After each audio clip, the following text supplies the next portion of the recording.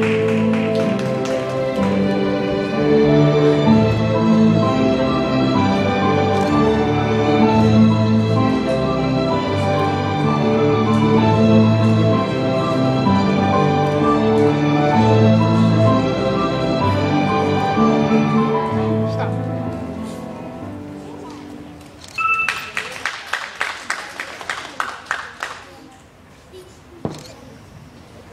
Dankjewel, Lisa.